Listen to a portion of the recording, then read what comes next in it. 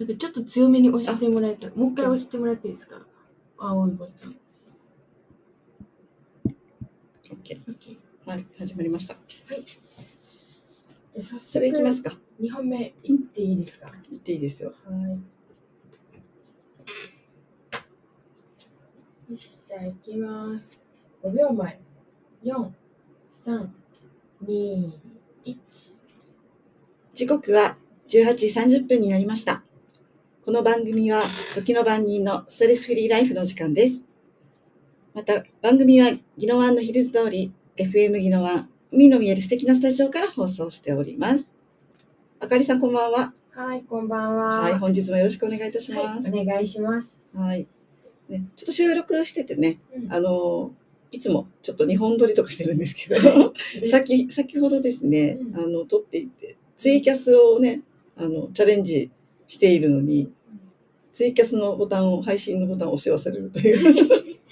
ね、なんかでも、あの、パソコンの仕様、仕様が、うんあの、強めにカーソル押さないと、なんかあの、選択できないみたいなところがあるので、ちょっと、ね、今回はしょうがなかった。ねでもこういうことって結構大事よね。なんか予定していて、うんなん、かあの、うまくうんやできなかったことって、ちょっと、あの、思っていたのと違う結果になるっていう。ですね。あとはなんか、違和感に気づく、気づくっていうところも大事そうですね。そうですね。これ途中でだからね、あの、押していいのかなってずっと迷って、あ、そうだったんそうです。そう、聞こう聞こうって思っていて、うん。そう、放送中だから、うん。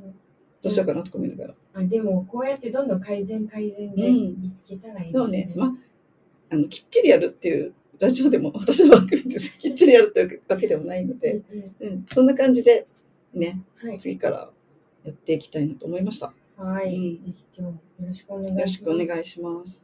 はい、うん今日、はいちょっとあの、先週皆さんにもラジオで告知した通り、テーマがあるんですよ。はい。はい、ここ最近ね、ずっとテーマを決めて、うんうんはい、やってるんですけどうん、先週はうん健康を意識してはいやっているものとか、うんなんかあの、こととか、うんうんね、あと行動とかありますか？っていう話から始まって、うん。結構二人ともメンタルヘルスだったねっていう。でしたね。うん。本当にね。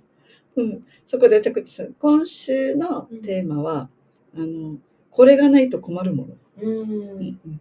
ことだったり、はい。また行動。うんううん。んっていうのをまたね、話したらいいなと思って。で、なんか、あの、今上がってるものだけでも結構いっぱいありますけど、うん気づいてないものもありそうですよね。そうね、何々、なんか、どんなことあります？あかりさん。私は、あの、毎日その日やることリストを組んで、何時にこれ、何時にこれっていう段取りを組まないと、うんなんかもうそわそわしちゃいますね。あ、そうなんだ。結構やることを決めて、うん。しっかりこなそうとする感じ？なんか目安がないと何もしなくなっちゃうので。なので仕事とかも、この、なんとなく、あの、前日にこう予定を組んで、で、それでしっかり確認して、翌日できるようにするみたいうん。なのの予定表ですね。うん。予定表がないと本当に困ります。あそうね、確かに予定表は私も常に確認はするんだけど、何使ってます？かか手書き派、手書き派ですね。うんなんかあの、すぐ、なんていうかあの、えっ、と、予定が入る瞬間は、携帯のカレンダーアプリを使うんですけど、毎日、あの、なんていうか、その日一日、この、確認するときは手書きのメモを見ます。って感じです。ん。でもなんか書いてると、あのやっぱりなんか頭にうん、うん刺激があっていいとかっていう。ああ、ね、ちょっと聞きますよね。ね、またデジタルはデジタルの良さがあってね、うんうんあの、繰り返し設定とかできるので、ああ、そうそそううそ。そううそういうのとかもあるから、うんそれぞれの良さっていうのがみんなある。でじゃあ、この予定表以外にうん。手放せない、これが手放せないじゃないな、これがないと困る。これがないと困るもの。そうですね。いや私、朝がすごく苦手で、で、苦手な朝をどう克服するかっていうところをいつも悩むんですけど、なんか選択肢が2つぐらいあって、なんか朝、割と早めに目が覚めて、でもきつくて起きれないって時は、朝モスに行って作業する。そうなんか、モスのなんかモーニングセットがすごい大好きで、トーストにコーヒーがついてるだけなんですけど、えー、行ったことない朝。あなんか窓際、あのあっちなんだったかな？FM 宜野湾向かう途中、うんこの那覇から宜野湾方向に向けてうんゴーバチを走ると、左手にモスがあるんですけどあ、あるある。そうそうそう、うんあっちのモスってこの、ま、大きい窓際に席があるんですねで私はその朝日を浴びる席を選んででモーモーニングセットを頼みなんか朝でやりたかった作業をするみたいな時間。をめちゃくちゃいい。いいですよね、うん。そうこの時間を取れなかった場合、うん。これができたらベストですけど取れなかった時はこの今日つけたいアクセサリーのことを考えながら起きるっていうところで。そうそうなんか二段構えですねあ朝、すごい。はい、へえ、なんかアクセサリーをつけたいの考えながら眠るって、なんか、起きる。あ、起きる、あ起きるって、なんかテンションが上がる感じ？そうそう、うん。なんか私本当に朝苦手なので、なんかあのやりたいことか今日つけたいアクセサリーのことを思って起きてそのまま足で行って服とあのアクセサリーを選ぶみたいな時間がないと困るなって思いました。へえ。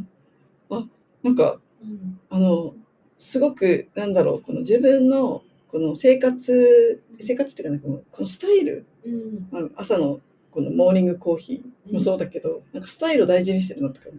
ああ確かにそうかも、うんルーティンルーティンがないと困るかなって思いました。そうなんだね。私が困るものは、まあ、先週も話したけど、私甘いものが大好き。うんうん、もう本当にないと毎日食べる。えーわかります。しかももう多分ね、引くぐらい食べてる。食べ物で引くぐらいって聞いたことないんですけど。そう。うんもう、多分ね、バイキングとか行ったら、うんご飯も食べるんだけど、うん大丈夫っていうぐらい、もうこうなんかデザートフルーツ系をどっさり取ってくるんですよ。うんこれ別腹だから食べる。別腹ってもうちょっと ちょっとその量見たいので今度写真撮ってください。私デザート全然食べない食べないの、そうそう、ね、私家でもすごい食べるんですよ。あそうなんですね、甘いの欠かせない。だからもう、アイスがうん。もう山のようにあって、うんうん、で、私も食べるんだけども、うん。家族全員あ甘いの大好きだから、うん。でも本当にもうこんだけ買ったんだけどっていう量、うん1週間ぐらい本当だったら持ちそうなはい、量が、もう2日か3日ぐらいの勢いでなくなるっていう。なんかもうあのもともと私香織さんあのお子さんこの食べ盛りのお子さんがいるっていうのを聞いてましたけど、そのお子さんと張ってるっていうのが 私は結構受けてて今昔は隠してたんですよ。自分専用の。うんでもうもう、さすがに子供たちが大きくなったら、もうバレて、あ、もう隠してもしょうがないから出しとけって言ったら、もうみんな、もう食べたいのはもう食べなさいって言って、うん。で、遠慮せずに食べなさいって言うけど、どうしても食べたいものには名前書きなさいって。はいはい。常に名前書かれてわかります。私もなんか兄弟多いので、なんかあの自分の絶対に食べたいものにはビニール袋で目隠しをしているというか、あのビニール袋に入れた状態、コンビニの。うん袋に入れた状態で冷蔵庫に入れると、わざわざ開けて取る人はいないので、それでやってますね。もう、そうね、やっぱりこの甘いのは、うんなんか自分のなんかこの、なんか、もう、オフにな、わざとオフにしてるかもしれない。ああ、なるほど。もしかしたら、なんかうん、そう、ちょっと先週の流れから、うんうんオフにするために食べて、で、絶対コーヒーも、うん私7、8杯ぐらいの。で大丈夫ですか病気だね健康に被害が全然健康じゃない。ねえ、き先週メンタルヘルスとか健康だったのに話が。本当だね。中毒。メンタルヘルスのために体を犠牲にしてるかもしれないですね。それは。でも、うんなんだろう。やっぱり逆になんか、た甘いのとか食べないと、あの、な、なんかもう気持ち悪いっていうか、うんうん、なんかもう、原活力が出ないっていう。うんうんえそれっていつからですか？実は、もう、20年以上、職場、はい会社から、私も本当に、毎週月曜日、うんあの、この、レジ袋のいっぱいに、もう1週間分のチョコレートを 買って出勤する。え、なんか漫画のキャラクターみたいです出ね。勤して。引き出し開けたらチョコしか入ってないって引き出しがうわ、すごい。ああるんですよ。うんでで職場のメンバーも、ここにお菓子が入ってるってみんな分かってもらいに来るんですね。はいカオルさんお腹空きましたとか言ってもらいに。いいよ食べてって言ってで机の上にも常にカゴがあってうん、私専用のカゴがあって でみんなもらっていくんですよ。でやっぱり残業する子とかはもう食べていいからっていう話ししたらもう朝来たら空になってるところがあるんですけどうん、お昼ぐらいにみんなチョコを買ってきてまた私の机に補充してくれて。あなるほど。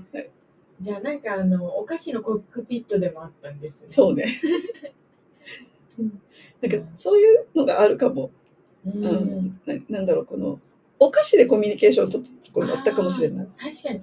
うん、もうわかるかも。あのタバコのたコミュニケーションとかもあるじゃないですか。そうタバコを吸う人はね独特のなんか仲間意識があるじゃないね。甘党でもあるのかもしれないですね。あるあるなんかあかりさんあんまり食べないの？私、うん。あでもなんかチョコはめっちゃ好きで、うん。それこそコーヒーと合わせるのすごい大好きで。で私も人に言えずあの毎日コーヒー結構飲む方なのでだからねなんか香織さんの職場にいたら私真っ先にバスケットに手を伸ばして食べていいですか？ありがとうございます。もう本当そんな全然 OK だったから、うん。でスイーツ仲間があっちこっちのコミュニティにいっぱいいて こっちのコミュニティには必ずスイーツ仲間がいてお互いあっちのおしかったですかシェアしたり、うん。うん、えなるほど。でもいいですね。なんかコミュニティ違うコミュニティで人脈が広がるきっかけになったりするんですね。ありますね、うん。うん、美味しいの見つけましたよって言ってお知らせがペンってくる、やっぱ好きなものでつながったら強いですね。なんかねだからこのなんかねないと困るものうん。っていうとやっぱりこのなんかえっとその私甘いものって話だったんだけど甘いものきっかけきっかけの何か行動とかかな？あもしかしたら。今ちょっと話しながらふと自分でも。あ、はいはい。甘いものきっかけの行動というと。あさっきのスイーツ仲間とか。ああ、こういううんやうん。そうそう。もらいに来て、つ。ね、みんなやっぱりさすがにもらってじゃあそのままそっと帰らないのでうん。あのもらいますねって言ってでちょっといいですかっていう会話が始まったりとか、うんうん。何々っていううん。なるほど。お菓子コミュニケーション。昔コミュニケーションなんか一石二鳥な感じもしますね。うんなんかお菓子も好きだし、コミュニケーションも取れるし、どっちも欠かせない、ないと困るものなんですね。そう。あと、あのやっぱりもちろんあとは、携帯はもちろんね、うんないと困るんだけど。もう歩くパソコンなので、今の携帯って。本当ですよね。何でも調べられる。何でも調べられる。飛行機でも Wi-Fi つながる時代なので、え、そうなんですか？そうえ。知らなかった。ああの、契約したらね、あ、そうなんだ。うんで飛行機の中でもちょっと使えるんですよ。えー、そうなんですね。うんあんなかたくなに機内モードしてたのに。ただ、あの、遅いよ、だいぶ。えー、うん、だから、あの、この、メッセージのやり取りぐらいは若干できる。うんうん。できるぐらいなんですけど、うんやっぱりね、あの、確認したいものとかはできるし、確かにまあね携帯ないと本当困りますよね。なんか忘れて困ったことありましたか？ああ、忘れて困ったことあります。うん。でも、なんか、私あれだな、基本、うん携帯を忘れないかも。ああ、なるほど。あうん。でも私も基本携帯忘れないんですけど、なんかイヤホン忘れて、私イヤホンないと本当に無理なので、うんなんか、で、今なくしてて絶賛。うわーそうそう。音楽もラジオもイヤホンを通して携帯で聞いてるので、なんか、そうですね、ないと困るけど、ないと困るけどよくなくしちゃうものかもしれないです、イヤホンって。あ、そっか。うんえ、この有線ですね有。線のやつ、はいうん。でもなくしちゃう？なくしちゃうんです。うんそう、なくすから無線にはしないと思ってたのに、有線でもなくすので。えー、なんかこのヘッドホンタイプみたいな、骨伝導みたいなものじゃん。この耳にあるんじゃなくて。じゃないです、ね。じゃないあ無あんなのが線がいい。そう、うんなんか、いや、やっぱ線、線使い慣れてるからうんいいって感じですね。そっかうなんか、やっぱりこの、ないつも手元にあるものとかうんがなくなると不安よね。確かに、いつも手元にあるものです。なないと困りますよね。いやでもそういうものこそなくしたり紛失したりってありませんか、あります。うんうん。えっとね、私ね、あの、あ、なんだ。前に、今はちょっと、メモ、メモはもう携帯に書いたんだけど、うんいつもこのちっちゃい、なんかメモ帳のやつを持っていて、はいはい、で、気になったことは、なんか書いてたんですよ。うんうんこれをなくしたことがあって、ああ、ううわー困りますね。結構書き溜めてるんです。しかも恥ずかしい。わかります。わかるえ、めっちゃわかります。え、どっかで見つかりましたか？見つからない。つらい。え、でも同じミスを私してて、うんなんか、あの、何だっけ、結構前に働いてた書店で、この、いっぱいメモして、で、好きな本もメモして、で、なんか、その本に載ってる言葉もメモしてみたいな、この結構、わかるわかる。そうそう、自己啓発的なメモ帳だったんですけど、それをなくしちゃって、うん。で、なんかあの、皆さんこれ誰のですか？って私のメモ帳が出てきて、なんか見つかった。恥ずかしいって思って、でもなんか名乗り出られなくて、私恥ずかしすぎて、うん。え？そっからあのどうなったかわからない。そうなの？うんうんいや本当ほ同じように私もなんかふとなんか雑誌とか読んだら、うんあこの言葉いいなと思ってメモしたりとか、うんでも結構書いてたんですよ。うんうんえーもう私の積み上げたものがみたいな。ね、なくしたらショックだし、それが人にバレるのも嫌ですよね。そう、なくしてショックで恥ずかしくて、えー誰が見てんだろうみたいな。多分名前とか書いてたんですよ。ああ、なるほど。えっとね、そうそう、名前とか書いてたっていうか、なんか今、なんだろう、この、自分のことうん、を好きになろうみたいなことも書いた、うん書いたりとかしてて、で、いや、そうですよね。書いちゃってて。いやみんな、みんなそういう一面を持ってるはずなのに、みんな隠してるから出せないじゃないですか。それがポロッと出る瞬間があるから、もう、もう嫌ですよね。そう、それがあって、私も確かに、うん。もう今は携帯とかに。メモするように書いた書いちゃったんだけど。うんうん確かにそうですね。でもなんかあの、いつもは自分の中で留めてた言葉とか、メモ帳だけに収めてた言葉を、なんかツイッターとかインスタって結構、なんていうんですかね、書きやすいじゃないですか。で、そこに書いちゃってというか、出来心でこう、投稿しちゃって後から恥ずかしくなって消すとかもありませんか、あります。うんでもう、今思い出したんだけど、うん私、手帳？うん結構大きい手帳も使ってたんですよ。はいはい。職場にいる時に、うんまだデジタルに慣れてなかった時に。うんあの時に、プライベートのタスクみたいなのとかも、仕事のタスクのことなんかも、役員がこんなこと言ったっていうなんか記録も全部書いてとかして、これを、これを、あの、打ち合わせの時の、あの、お客様席で忘れてしまって結構、なるほどなるほど。ことがあって、うんけだいぶ恥ずかしい思いをしたことがある。うん、ああ、そうでしたか。絶対中身見るじゃん。うんうん。ね、ちょっとパッて見ますよね。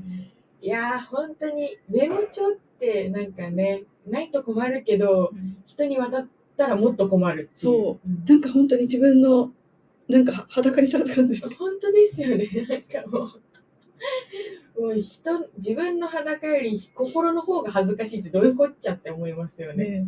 ね、そういうところなのかな。なんだろう、この、ないと困るって、はい。ななんだろう、この自分のことを、あの、なんか、ささっき、ねうんひたすら表現する何かだったりとかさ、うん。するじゃない。うん甘いものもそうだけど、うんこの甘いものとして誰かとコミュニケーション取ったりするうん。こともそうだし、うんうんねなんだろう、この自分の、をある意味ちょっと物事をスイッチ変えて表現するっていうか、はい。なんか伝わります？ちょっとうまく今話せないんだけど。あでも、なんか前半はすごいスイッチの切り替えでないと困るものについてだったと思うし、今はこの、なんていうんですか、自分のこの表に出したいものとそれを隠すために、なんか必要な、ないと困るものとか、なんかこう、全部外側に出てる自分の話なのかなと思いうん、そうね。ます。そうなんかあかりさん他にある？私うんあかりさんのそうです。ないと困るもの。でも、なんか、スイッチを切り替えるとか、私はオンにするためにないと困るものはいっぱいありますけど、オフにするためにないと困るものは、あんまないかもって思います。へえ。だから、香織さんと逆かもしれないですね。そっか。うん、だから、自分には、なんかこう、休、休みと、この、いっぱい動くぞっていうのの切り替えが、なんか、やるぞのスイッチあるけど、休むぞのスイッチがないんだなって今話してて思いましたね。えー、あそっか。でも私も言われてみて、うん。あそうなんだって思った。別に意識してるわけじゃなかったんだけども、多分常に動いてたんでしょうね。うんで無意識にうんあオフにならなきゃオフにならなきゃって思っていた何かこの切り替えるタイミングをもしかしたら、いつの間にかそうしていたかも、うんうん。うん。だから自分では切り替えられないから意識では。だから外のこのこれをやったら切り替えるみたいなのが必要なのかもしれないですえね。ー面白い発見今日。ですね、うん。面白い。だから私は基本多分ずっとオフの人間なんですけど、何かスイッチがないとやる気が入らないから、オンのスイッチを自分で作ったんでしょうね。うんで、これがないと困るんでしょうね。ね朝のねモーニングコーヒーとかねねモモスに行ったりとかこのアクセサリーを身につけるもの何何にしようかなって考えながら起きるっていうオンだね。オンですね、うんオフのスイッチでしたもんね。へえなんか全然違うね。やっうん。ぱり面白い。なんか一個のテーマでもこんなになんかね、携えてるものが違うとうん。面白いですね。皆さんもどうなんでしょうかね。皆さんもどうなんでしょうかね。今日ちょっとね、ツイキャス配信してるんですけど、うん。ちょっと今日コメントはね、うん。いただけないんですけど、ぜひね、なんかあの、こんなこと、なんか、あの、やってますとか、うんううんんうん、なんかテーマに、皆さんがちょっとふと感じたもの。で、今じゃなくてもいいのでね、思い出した時に、あ、これありましたって、ね、ちょっと時間が経ってからでもいいので、ぜひぜひ、うんはい、番組にコメントいただけたらなと思います。はい、なんかあの平日水曜日の忙しい朝かもしれませんが、皆さうんんぜひお時間ある際は収録放送の方もはい、ツイキャスでチェックお願いいたします。はい、見ていただきたいですね。はいうん、で、なんだかんだ、えー残り4分少々となりました。早いね。早いですよね。ねえなんかやっぱりここ最近テーマ決めてやってるのがなんかいいね。うん、そうですよ。流れ的に、うん。うんうんしかもあかりさんと私のなんかこのなんだろう。違ってるようで似てるっていうか、う、うんんうん、なんかそれが面白い、なんかう、ん。ちゃんとその回その回でゴールがなんか話しながら見えてくるからいいですよね。うん。気づき発そう。見。お互いちゃんとあなるほどっていううん。気づき、うん。うん、面白い、いいですね。うん、え、なんか、そうですね。え、なんて言おうとしたんだっけ？あ、やばい。そうしたかも。なんか、いい、いい、いい気づきがあったからシェアしようと思ったんですけど、うんまあ、思い出したら言います。思い出したら全然大丈夫 失礼しました。はい。じゃあちょっとその間にね、ぜひ皆さんコメント欲しいので、メールアドレスをお伝えしますね。はい。797 F、あアットマーク、FM 技能ワン .com です。でもちろん、あの、YouTube の配信もしてますので、FM 技能ワンで検索していただいて、はい、この番組は、時の番人のストレスフリーライフのお時間なので、はい、そちらの方も検索して見ていただけたらなと思います。はい。はい。え、各週ではありますが、えっと、毎回2本撮り大体うん。ね、やってますので、えっと、そうだ、収録する際はインスタで告知しましょうか。あ、ねそうだねそれがいいかもしれないです、それがいいいですねそ。したら、なはいんか皆さんちょっとチェックできるかな。そう、最近は、うんあの、私公式 LINE やってるので、お。いいですねはい、ちょっと公式 LINE まだね、登録数少ないんですけど、うんはい、やってますって言ってうん送ってます。送りつけてます。あ、いいじゃないですか。そこでトークテーマも一緒に送れたらね。ねそうだね。いいですよね。確かにそれもやちょっと工夫してみよう。うんね、なんかパーソナリシパーソナリティさんもリスナーとして聞いてることも多いので、ね、なんかぜひこうしたらあのリスナー増えたよとかね、そういったこともあったらぜひ教えていたはいだけた、ら。教えてほしいです。はいちょっとね、パーソナリティさん同士の交流もちょっとうんできてないので、あはい、やりたいな。ね、なんかモアイとかもやってますしね、うんなんか飲み会とかも結構あるらしいから、ぜひなんか一緒に参加しましょう。はい、ありがとうございます。えーでは残り2分となりましたが、い今日のまとめどういったしますか？そうです。ね。今日の、やっぱりなんか、これがないと困るっていうね、ことから始まったんですけどう、ん意外と着地がさっきのあのやる気スイッチだったらやる気オフだったりっていうところの、ねあのスタートのところのうん思っていた想像と違った違ったけどもなんかやっぱりそれってすごく大事、うん。うん、自分のなんか切り替えるタイミングうん。とかやっぱりあの変化を楽しむっていうのが大事かなって思ったんですよ。うん。うん。自分の変化。うん。うん。確かに。いい方向に持っていくかどうかも自分次第だったりしますね。そう、うん、うんでね常になんかね全力じゃなくても私はいいと思っていて、うん。うん。このオンオフってやっぱりなんかよく言うけど別に必ずオンになりなさい必ずオフになりなさいってわけでもなくうん。なんかあのゆるっとしてると意外とあのな急に当たりが強くてもかわせるとか。ああ、確かに。気を抜いて、水拳みたいですね。そうそうそうなんかだからねよくニュートラルがいいよとかいうのがそういうことなのかなっていうのをあかりさんと話しながらすごく今日は思いましたね。なるほどん私もなんかこうないと困るものってうん物物がいっぱい私は浮かんだんですけどこのないと困るものたちは私のスイなんかやる気スイッチに関連しているものなんだなって今日気づけたのでなんか面白い発見でした。面白い発見。ううんんよかった。本当にいつもあかりさんと話するといろんな発見があって面白い。私もです。セッションしてるみたいですよね。うんね、ぜひね、本当にね、リスナーの皆さんもね、なんかこういうの聞きたいなとか、ね、ラジオに本当に参加して、うんなんか直接私に質問するぐらいの感じで、ね、皆さんも、はい、どんどんコメントいただけるような番組にしたいです。はい、よろしくお願いします。はい、よろしくお願いします。はい。うんお時間もそろそろ。そろそろはい。ね、また、うん次の収録2週間後になるんですけどねうん、また、あの、あかりさんのテーマ決めて、はいなんかね、わちゃわちゃしながら、なんかね、でも、なんか、こういう楽しい、あの、ふと気づきっていうところが毎し毎回できたらいいなと思ってるので、はい。またよろしくお願いしまはい、本日もありがとうごす。はいい、ざます。本日もありがとうございました。ジャストです。あありがとうございましたありがとうござありいます。がとうございます。はい。なんかドライアイとか最近涙が止まらないんですよ。そうですよね。急に涙が出てきて。どうしたんだろう。でも多分クーラーつけてからだったから、このクーラーなのかな。そう。なんかね、ちょっとか乾燥なのか、なんかドライアイ目あの薬使ってますか？使ってますよなん。かあのピンク色の薬用目薬みたいな。友達に最近教えてもらった。あ、やっぱり使ってる。めっちゃいいですよ。うん結構変わりました、私。よいしょ。あ、そっか、消してもらった。そうそうそう。今日はやっぱちょっとあれかな。